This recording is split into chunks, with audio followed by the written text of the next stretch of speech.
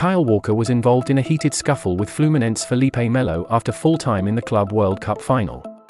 The Manchester City star was part of the team who earned a 4-0 victory over the Brazilian side in Saudi Arabia to claim their fifth trophy of 2023. While clearly an occasion of celebration, the England defender found himself involved in an altercation with the 40-year-old midfielder. After being pushed by Melo, Walker had to be held back by his teammates and Man City's backroom team to ensure that the celebratory occasion didn't turn sour.